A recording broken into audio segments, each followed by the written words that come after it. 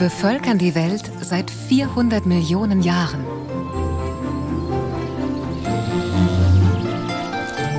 Allein in Deutschland leben etwa 30.000 verschiedene Arten. Ihre wundersame Verwandlung von der Larve zum fertigen Insekt erstaunt uns Menschen immer wieder aufs Neue.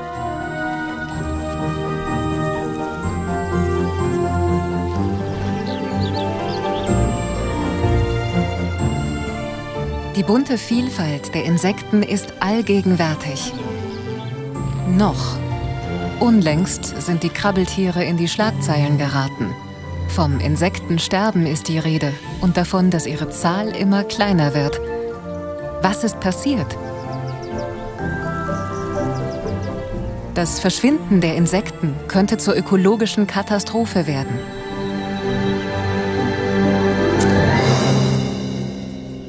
Was können wir tun, um sie zu retten?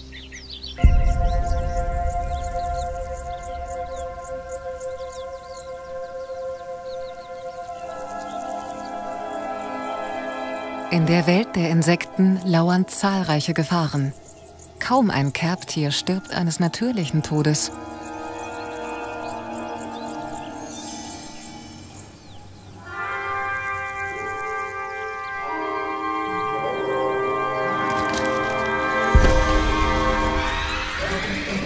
Wespenspinne fängt am liebsten Heuschrecken. Aber auch für einen tief fliegenden Admiral ist ihr Netz eine tödliche Falle. Ein Kampf zwischen der Klebekraft des Spinnennetzes und der Muskelkraft des Schmetterlings.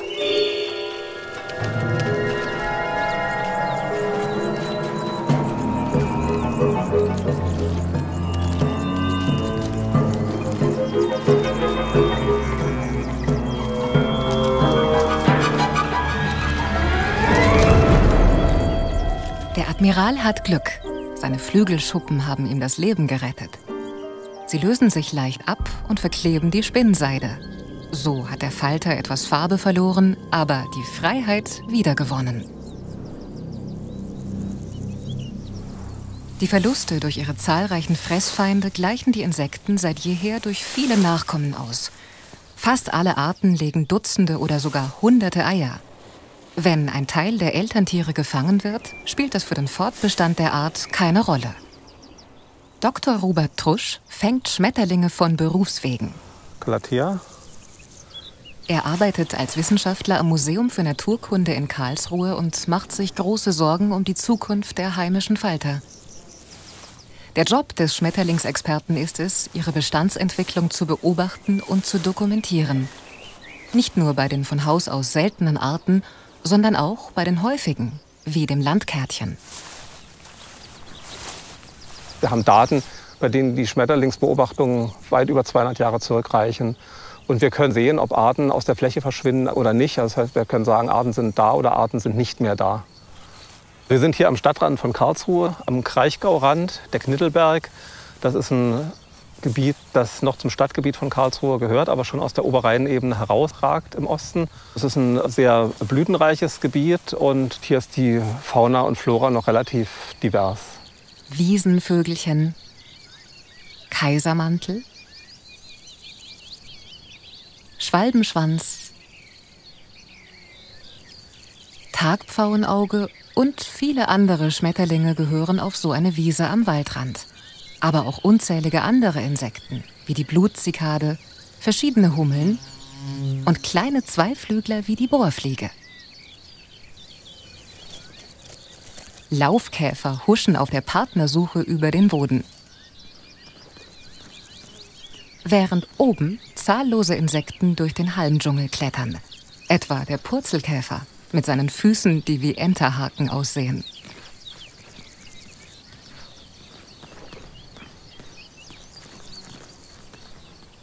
7000 Käferarten leben in Deutschland und fast 4000 verschiedene Schmetterlinge. Um sie zu erkennen und einzuschätzen, ob sie bedroht sind, bedarf es Spezialisten wie Robert Trusch. Das ist ein veränderliches Widderchen. Sehr schön zu erkennen an dem roten Ring am Hinterleib. Das ist schon was Besonderes. Das veränderliche Widderchen gibt es in Karlsruhe nur am Knittelberg.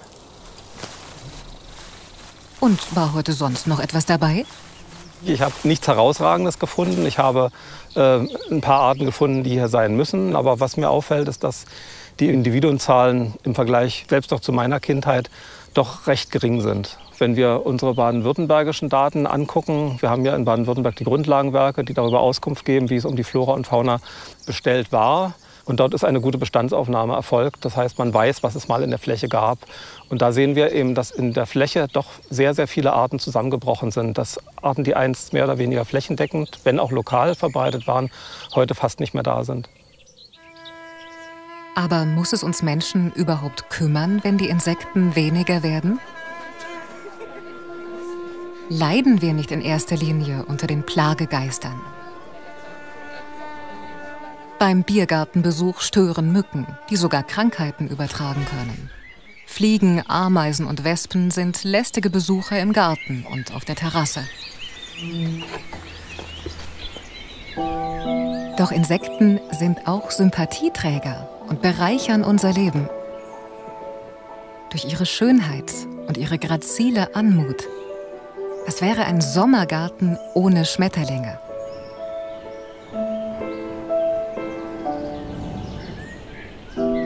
Aber nicht nur im Garten. Sieht man genauer hin, kann man überall die Schönheit der Insekten beobachten. Auch am Wasser. Prachtlibellen tanzen, um ihr Farbkleid zur Geltung zu bringen. Allerdings nicht vor uns Menschen, sondern vor ihren Artgenossen. Vor allem vor den Weibchen. Die müssen die Männchen erst überzeugen und das kann dauern.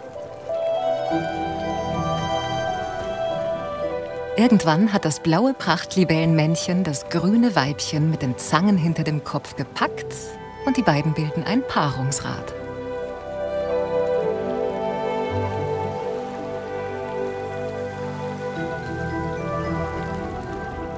Später, zur Eiablage, geht das Weibchen auf Tauchstation und zieht sich so vor zudringlichen Prachtlibellenmännchen zurück.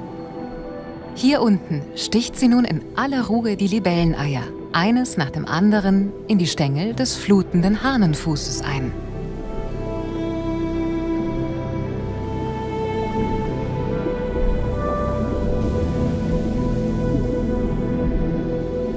Der Eiablageort ist gut gewählt, denn im Halmgewirr der Wasserpflanzen sind die Prachtlibellenlarven gut geschützt und machen Jagd auf alles, was sich bewegt.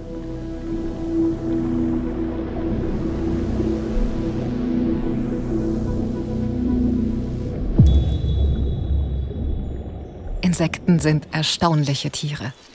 Ameisen schleppen scheinbar mühelos das 40-fache ihres Körpergewichts. Heuschrecken springen hundertmal so weit, wie sie lang sind. Auch Käfer haben Herkuleskräfte. Im Gegensatz zu ihren Namensvettern, den Rothirschen, sind sie stark genug, einander auszuhebeln und auf den Rücken zu werfen.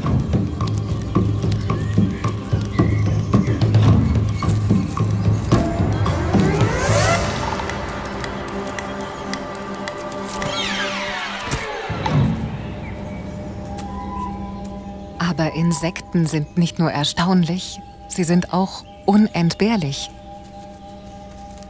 Ohne Mistkäfer und andere Insekten würden wir im Dumm der Wildtiere ersticken. Die Räumkommandos arbeiten im Stillen und fallen uns nur selten auf. Sie beseitigen Exkremente und machen sie wieder für die Pflanzenwelt verfügbar.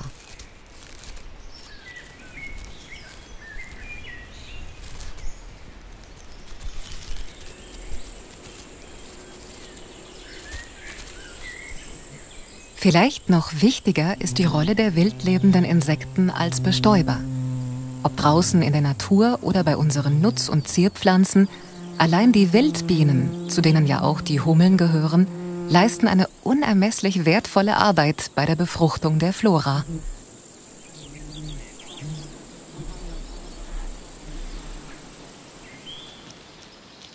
Und dann wäre da noch die Rolle der Insekten als Schädlingsvertilger. Die Heerscharen von Ameisen, die in zwei Dutzend Arten bei uns vorkommen, schleppen jährlich tausende Tonnen Insekten in ihre Bauten. Insekten, die in Forst- und Landwirtschaft als Schädlinge auftreten können.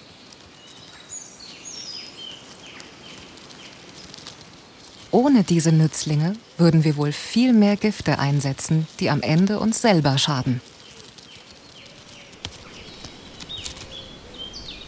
Eine Etage höher geht der Puppenräuber auf Jagd. Er gehört zu den Laufkäfern, ist extrem selten, kann sich aber bei einem Massenauftreten von bestimmten Raupen selbst stark vermehren.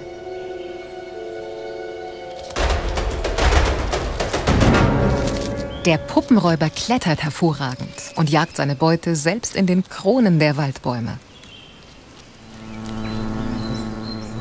Ein Hornissenvolk im Garten. Wenn die gewaltigen Brummer den Komposthaufen umschwärmen, flößen sie uns Respekt ein. Wer die Hornissen eine Weile beobachtet, erkennt bald, dass auch sie äußerst nützlich sind.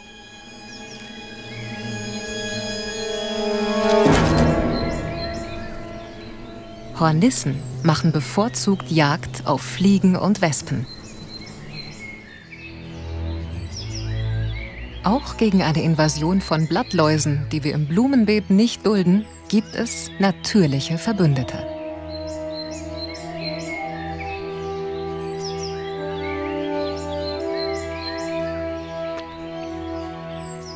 Dies ist die Larve einer Schwebfliege, Sie verbringt ihr ganzes Jugendstadium auf den Zweigen der Flockenblume.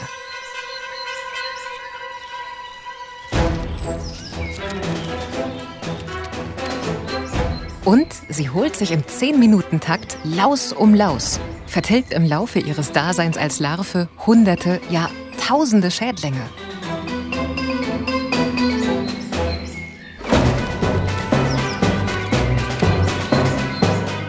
bis sie genug gefressen hat und zur geflügelten Schwebfliege wird.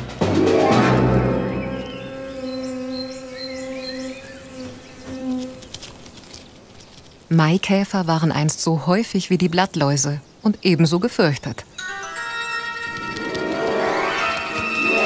Wo sie heute noch zahlreich sind, werden die Eidechsen satt und viele andere Tiere. Ob Nützling oder Schädling, Insekten spielen als Nahrungsgrundlage eine unverzichtbare Rolle im Netz der Natur. Selbst die Frösche im Gartenteich sind auf Gedeih und Verderb auf Insekten angewiesen.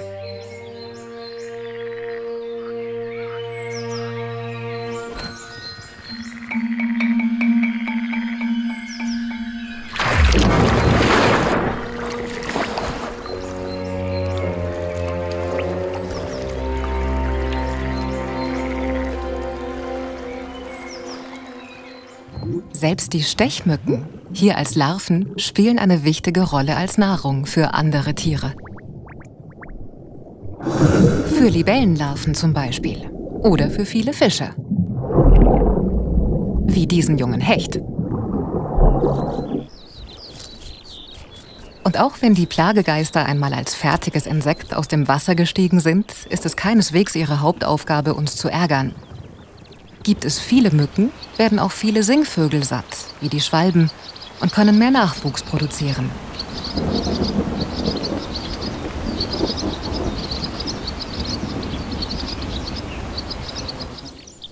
Der Insektenschwund in unserem Land ist wissenschaftlich belegt. Gleichzeitig breiten sich viele Arten aus, so wie die rote Mordwanze. Ein ausgesprochen wärmeliebendes Insekt, das immer mehr trockene Böschungen erobert auch in Gegenden, wo man sie zuvor noch nie gesehen hat. Mordwanzen und viele andere Insekten mögen es warm. Spielt hier die Erderwärmung eine ungeahnte Rolle? Der Klimawandel, der jetzt natürlich besonders schnell vonstatten geht, menschengemacht, der hat natürlich einen Einfluss. Das einzige Bestände ist die Veränderung und auch die Fauna eben ist einer solchen Veränderung unterlegen. Wir haben Neubürger, gerade hier am Oberrhein merken wir das, wenn die über die burgundische Frotte hochkommen, 2008 Ankunft vom Karstweißling Pires mannii oder andere Arten wie der kurzschwänzige Bläuling, äh, der hier mir sogar vorhin ins Netz gegangen ist. Äh, dieses Tierchen, äh, das war einst relativ wenig verbreitet hier am Oberrhein, hat heute im Grunde fast die Bundesrepublik überrollt, ist bis Berlin und weiter vorgedrungen. Der Kaiserstuhl ist ein Gebiet, in dem seit jeher besonders wärmebedürftige Insekten leben. Dank Klimawandel breiten sich nun einige von ihnen in die Umgebung aus. Weinbauklima heißt es in vielen Insektenbüchern, braucht diese oder jene Art. Genauso eben wie der Wein. Nackte Wände aus Löss oder Lehm sind ideale Lebensräume für besondere Insekten.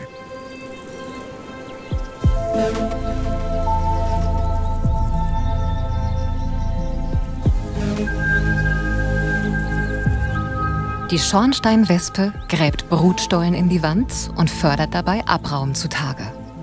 Aus dem herausgebuddelten Material formt sie einen krummen Rüssel, der tubenförmige Eingang erschwert Parasiten den Zugang zum Wespennest. Ist er lang genug, wird der restliche Lehm, der bei den Grabarbeiten anfällt, einfach fallen gelassen. Etwa vier Stunden dauert es, bis die Schornsteinwespe ihren Bau fertiggestellt hat. Bald ist alles für den Nachwuchs vorbereitet.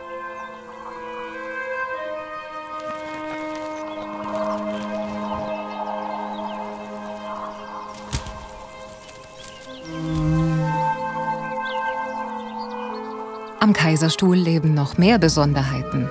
Etwa die Gottesanbeterin, ein Lauerjäger. Die Schornsteinwespe schleppt derweil Rüsselkäferlarven in ihren Stollen.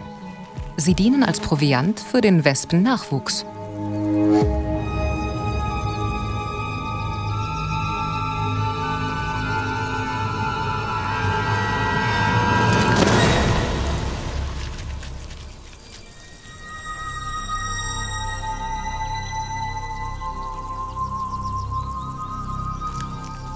Auch die wehrhaftesten Insekten sind gegen die dornenbewehrten Fangbeine der Gottesanbeterin machtlos.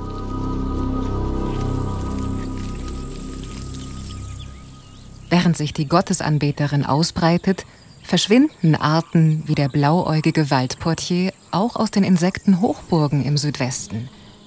Einst flog er am Kaiserstuhl, bei Tübingen, am Bodensee und am gesamten Oberrhein herum.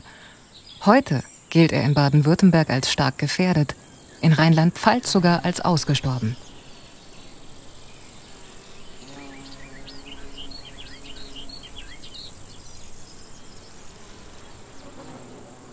Wenn sich doch einige Insekten dank Klimawandel ausbreiten, warum verschwinden dann so viele andere, wie der blauäugige Waldportier?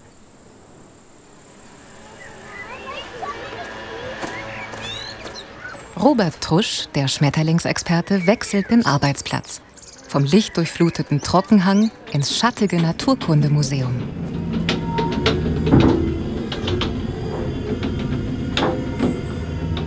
Hier lagern Schätze aus vier Jahrhunderten. Schätze, die eine eindeutige Sprache sprechen.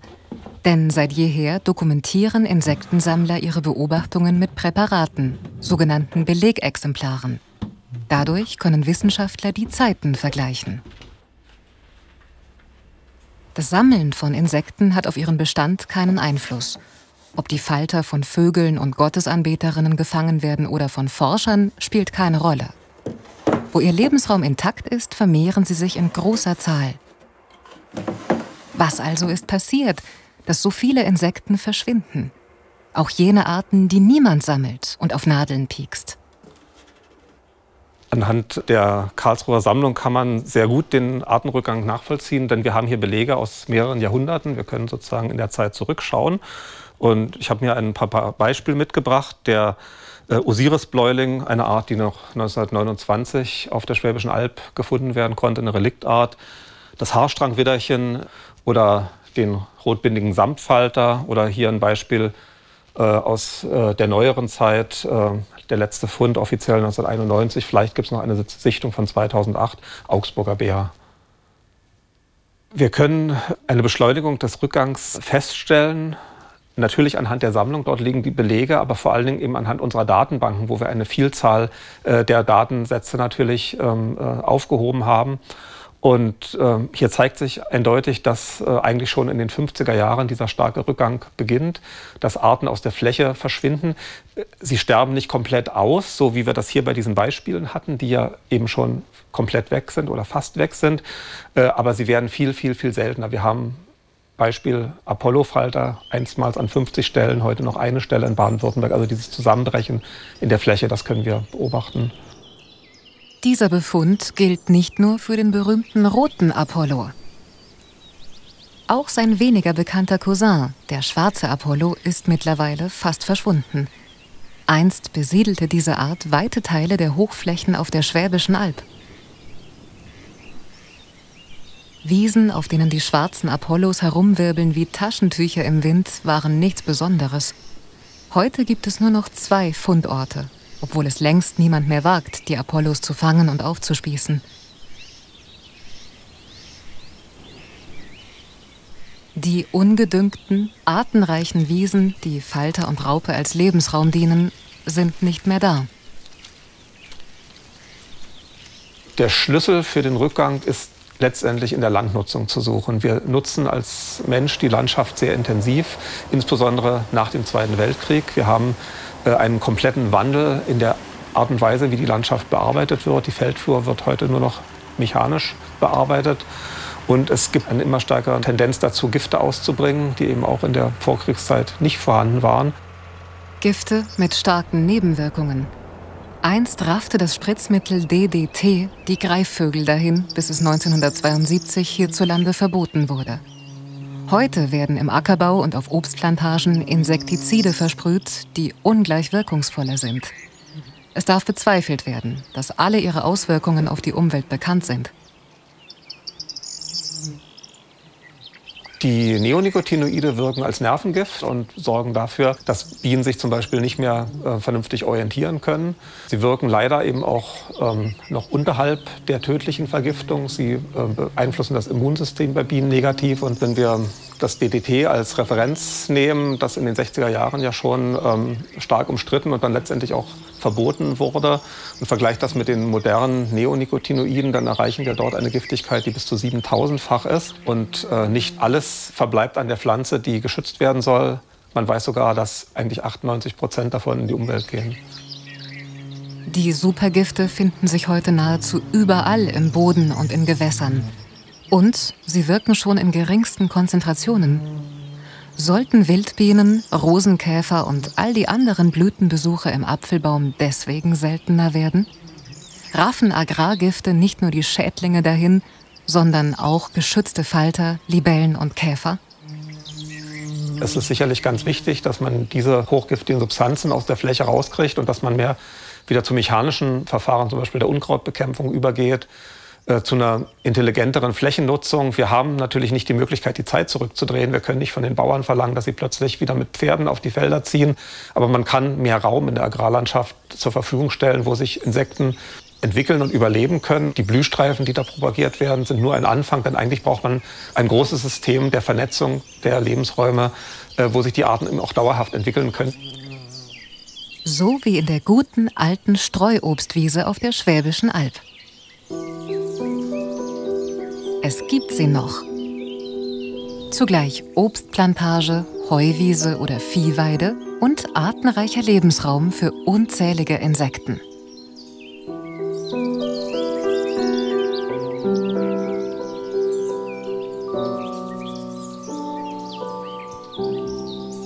Eine Vielfalt, von der am Ende der Nahrungspyramide auch wir Menschen abhängen.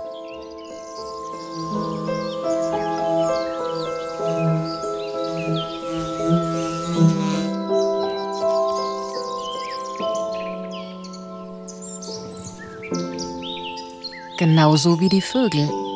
Sie brauchen solch artenreiche Lebensräume voller Insekten.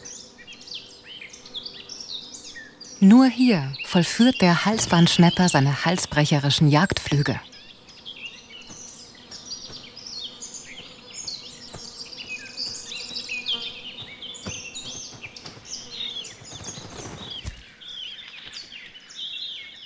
Die Streuobstwiese bietet dem Insektenjäger nicht nur gute Jagdgründe, sondern auch eine Auswahl an Brutmöglichkeiten.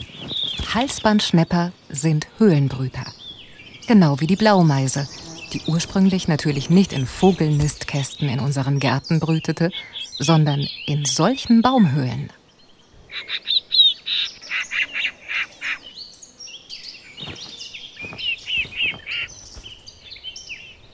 Aber auch im schönsten Lebensraum lauern natürliche Gefahren.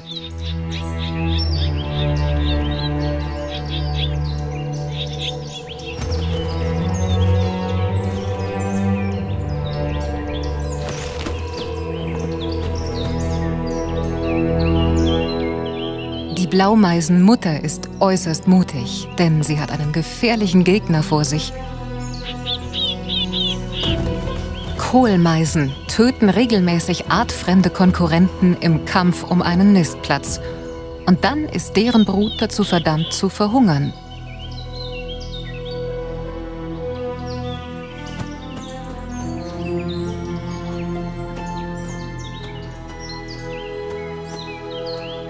Aber in diesem naturnahen Obstgarten gibt es zum Glück genügend alte Bäume und damit Brutplätze für alle. Und es gibt so viele Insekten, dass alle Vögel genügend Futter für ihren Nachwuchs finden und auch selbst satt werden.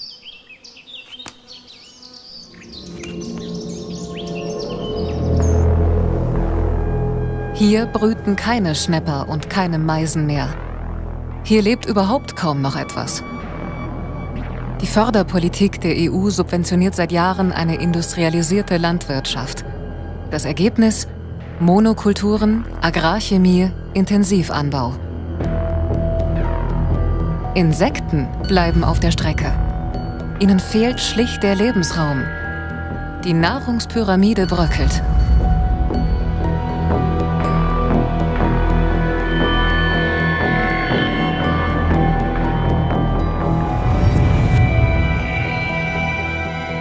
Brauchen wir mehr Schutzgebiete, um den Rückgang der Sechsbeiner und damit das Schwinden der Artenvielfalt zu stoppen?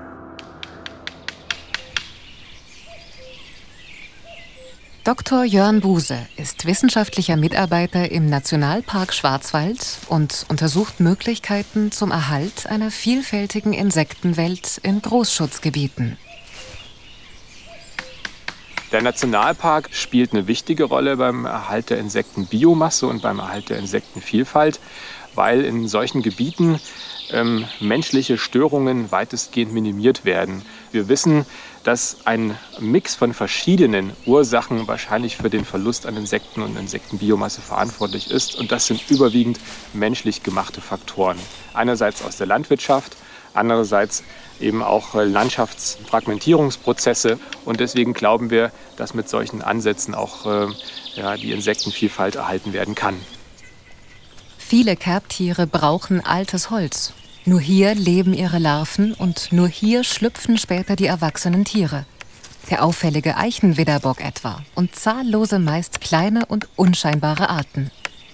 Wälder mit einer lang existierenden Kontinuität der Lebensräume sind sehr, sehr wichtig weil wir dort Reliktarten finden, die nur an diesen Flächen vorkommen und die sitzen dann am Holz, kann man auf dem Holz beobachten, aber entwickeln sich in der Wachstumszone des, des Holzes und auch im Totholz selbst. Und diese Tiere sind sehr spannend. Sie können nicht fliegen, sie sind sehr winzig und sie brauchen einfach immer wieder diese Holzressource, um Populationen auszubilden. Im Nationalpark leben auch große, prächtig gefärbte Käfer wie der goldglänzende Laufkäfer oder der dunkelblaue Laufkäfer. Oder der Bergwaldlaufkäfer, der allerdings zu den Verlierern zählt. Auch hier im Nationalpark, wo sein Lebensraum eigentlich bestens geschützt ist. Er zieht sich immer weiter in die Höhenlagen des Schwarzwalds zurück. Gegen manche Einflüsse ist auch ein Nationalpark machtlos. Zum Beispiel der Bergwaldlaufkäfer, der historisch wahrscheinlich ab so 400 Meter Höhenlage vorgekommen ist, hat jetzt seine niedrigsten Populationen etwa ab 650 bis 700 Meter, ist also in den letzten Jahrzehnten im Zuge der Klimaerwärmung schon massiv in die Höhe gegangen und die untersten Populationen sind wahrscheinlich ausgestorben. Der Klimawandel wirkt sich also auch hier im feuchten und vermeintlich kühlen und gut geschützten Nationalpark aus. Das Verbreitungsgebiet des Bergwaldlaufkäfers wird definitiv im Schwarzwald kleiner werden über die nächsten Jahrzehnte im Zuge der Klimaerwärmung. Und dadurch steigt natürlich auch das Aussterberisiko für diese Art.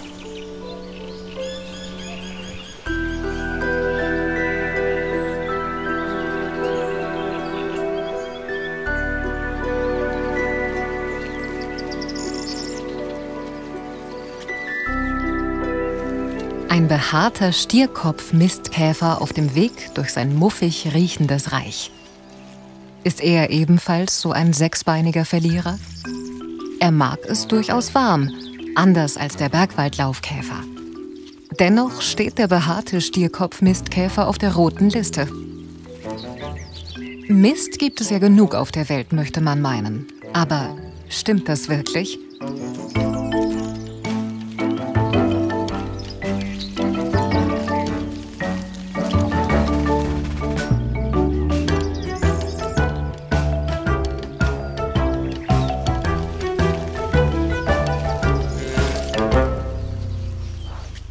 Jörn Buse ist anerkannter Experte für Dungkäfer. Er kann die etwa 100 heimischen Arten unterscheiden, aber dazu muss er sie erst einmal finden. Im Dung der Rinde, aber auch in dem der Pferde, entwickeln sich unterschiedliche Insektengruppen. Es sind vor allen Dingen Fliegen, verschiedene Fliegenfamilien, aber auch verschiedene Käferfamilien mit unterschiedlichsten Arten. Es kommt dabei darauf an, ob der Dung im sonnigen oder im schattigen Bereich abgelegt wird. Und es sind sowohl räuberische Arten als auch Arten, die direkt den Dung fressen und konsumieren. Eine Menge Insekten sind also ganz scharf auf den Mist. Weil es schon seit Jahrtausenden große Haus- und Wildtiere bei uns gibt, haben sich im Laufe der Evolution unzählige Arten auf deren Hinterlassenschaften als vermeintlich nie versiegende Nahrungsquelle spezialisiert. Und von diesen Dungfressern leben wiederum viele größere Tiere. Eine Weidefläche, wie wir sie hier sehen, hat eine sehr hohe Bedeutung für Insekten, weil wir in den Dung sehr hohe Biomasse an Insektenlarven haben, aber auch an fertigen Insekten, an adulten Tieren. Und wir haben, wenn man das hochrechnet, pro Kuh, die hier den Dung abliefert, im Jahr eine Förderung von 120 Kilogramm Insektenbiomasse. Also jede Menge Beutetiere. Insekten stehen ja am Anfang der Nahrungskette. Das heißt also, als Tiere konsumieren sie entweder pflanzliche Substanz oder verwerten den Dung wie hier. Und dann gibt es höhere trophische Ebenen, zum Beispiel Fledermäuse oder Vögel, die vor allen Dingen während der jungen Aufzucht ganz viel Eiweiß brauchen und dann auf diese Insektenbiomasse angewiesen sind. Das heißt, wir haben auch eine Reihe von Arten, die davon wieder profitieren. Das Schwarzkehlchen etwa. Es mag offenes Buschland, wo Großtiere weiden und wo zwischen abgefressenen und hochgewachsenen Bereichen viele Insekten leben. Hier bekommen die Schwarzkehlchen-Eltern ihre Küken satt, die versteckt in einem Nest in der Wiese liegen, irgendwo am Rand der Weide.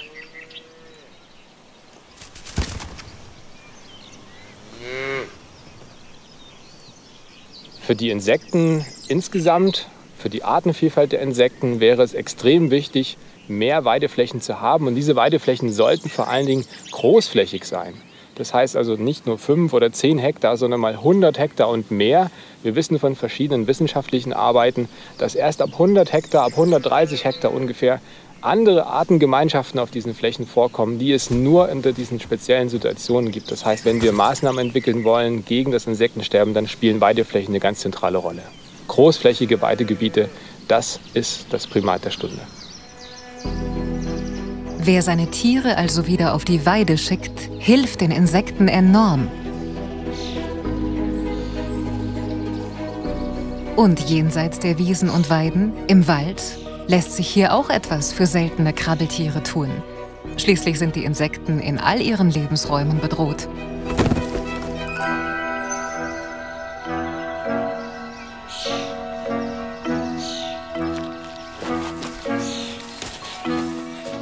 Bernhard Ziegler vom Umweltbildungszentrum Listhof in Reutlingen hat sich dem Schutz des Alpenbocks verschrieben. Es ist sein Lieblingsinsekt. Ja, sein Lieblingstier.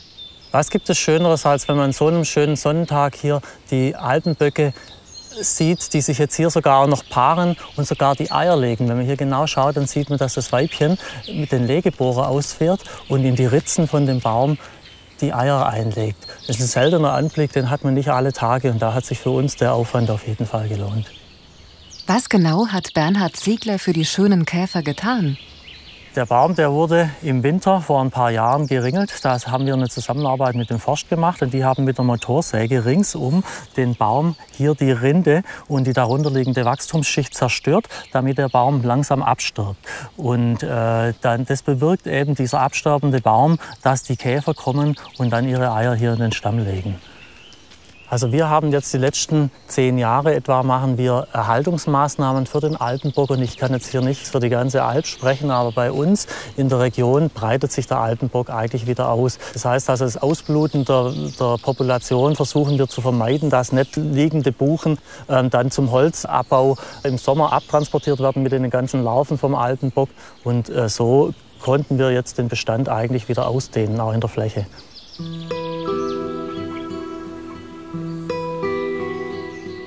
Es kann nicht sein, dass das Überleben oder Aussterben bedrohter Insekten nur vom Engagement einzelner Liebhaber abhängt.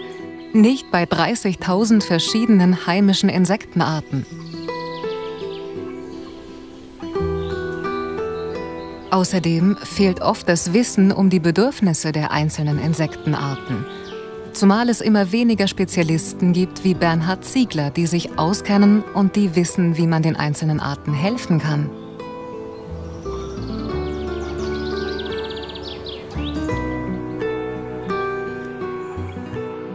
Dem Mangel an Wissen will man hier begegnen. Im Krabbeltierhaus des Umweltbildungszentrums Listhof. Der mit den Schwänzchen hinten dran ist der Schwalbenschwanz. Okay? Zum Schwalbenschwanz gehört auch tatsächlich. Alexander Beiter hat eine Schulklasse eingeladen und vermittelt Schmetterlingswissen. Er bemängelt, dass die Menschen zu wenig über die Insekten wissen und dass sich deswegen zu wenige für ihren Schutz einsetzen. Und der hier, Tag oder Nacht? Tag. Tagfalter. Alles vollkommen richtig. Und jetzt verrate ich euch was ganz Besonderes. Diese Fühler, die ganz stark gekämmten, das haben nur die Männchen. Also dann weiß ich sofort, Mann oder Frau? Männchen. Der Biologe vermittelt aber nicht nur theoretisches Wissen. Hier können die Kinder heimische Schmetterlinge hautnah beobachten und kennenlernen. Das hält Alexander Beiter für unverzichtbar. Filme und Bücher alleine genügen nicht. Da ist sich der Experte sicher. Mittlerweile haben wir schon auch die Tendenz, dass wir immer weniger Artenkenntnis haben.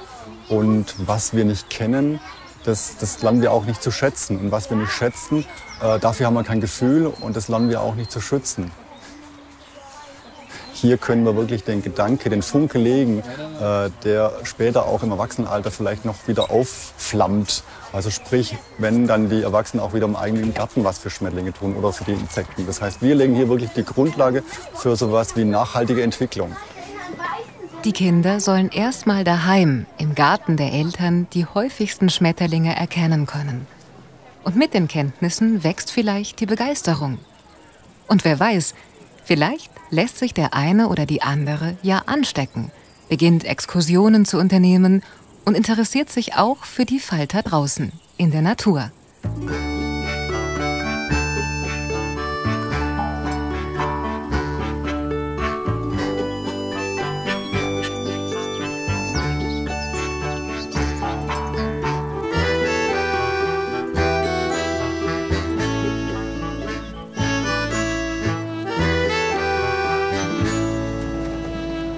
Weil man aber nur mit viel Glück draußen einmal die Seltenheiten findet und viele Schmetterlingsarten zudem streng geschützt sind, züchtet Alexander Beiter verschiedene Arten als Anschauungsmaterial.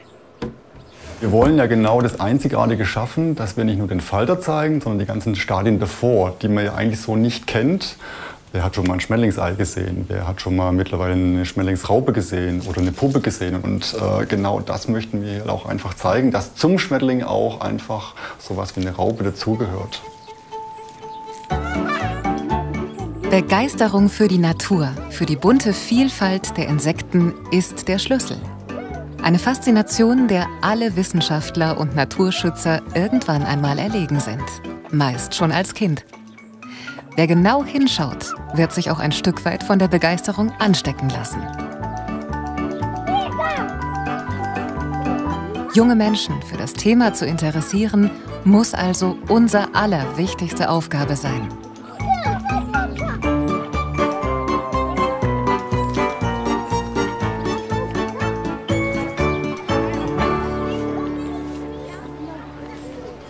Wenn man hier eine Führung hat und in die Augen der Kinder blickt, dann sieht man ganz genau, dass man noch irgendwo wirklich das Herz trifft.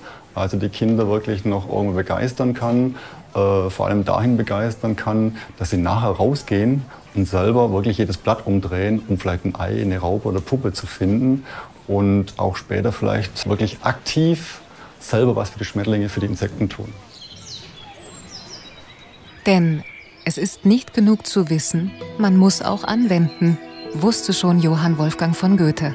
Allerdings hätte der Dichterfürst es sich bestimmt nicht träumen lassen, wie notwendig der Schutz der Insekten einmal werden würde.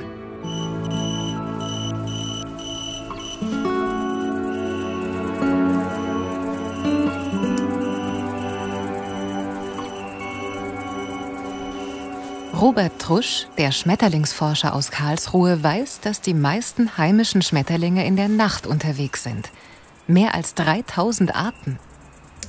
Während die auffälligen Tagfalter jedem gleich ins Auge springen und ihr Verschwinden leicht feststellbar ist, sind die meist kleinen Nachtfalterarten ohne besondere Hilfsmittel kaum wahrnehmbar. Deswegen setzt der Forscher auf ultraviolettes Licht, um die Tiere an einen Gasestoff zu locken. Die Schmetterlinge lassen sich im Schein der UV-Lampe nieder und können anschließend in Ruhe studiert, bestimmt und gezählt werden. Ich zähle hier oder ich kartiere hier die Schmetterlinge, die hier vorkommen. Ja, heute haben wir 51 Arten bis jetzt äh, gefunden und wir haben es äh, Viertel nach eins inzwischen, sodass äh, man sagen muss, es ist noch relativ übersichtlich. Eine Nacht wie heute sind über 20 Grad, also fast eine Tropennacht.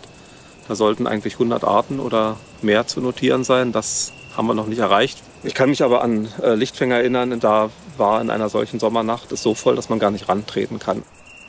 Also auch hier ein dramatischer Rückgang. Ja, das Worst-Case-Szenario wäre, dass wir am Ende die Basis für unsere Nahrungspyramide äh, verlieren. Wenn wir uns die Nahrungspyramide vorstellen, die ja unten die Basis hat äh, dieser ganzen Arten, die sich extrem vermehren können, eben Insekten äh, zum Beispiel. Und obendrauf sitzen dann die äh, Wirbeltiere und am Ende wir. Wenn plötzlich von dieser Basis unten 80 Prozent fehlen, dann wird es nicht lange dauern, dass die Pyramide in sich zusammenfällt. Was muss also getan werden, um die Insekten zu retten?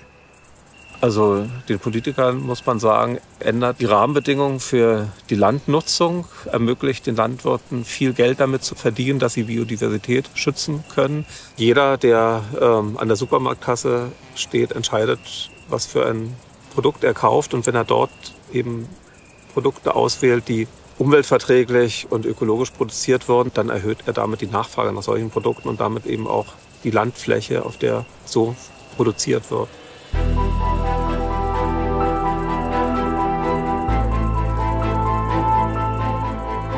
Die Zukunft der Insekten liegt also in unseren Händen. Noch ist es für die meisten Arten nicht zu spät. Aber längst geht es nicht mehr nur darum, einzelne bedrohte Spezies zu bewahren. Es geht um den Erhalt einer ganzen Tiergruppe. Und es geht auch um unsere eigene Zukunft. Wir müssen unseren Umgang mit der Umwelt ändern. Jeder Einzelne kann etwas dazu beitragen.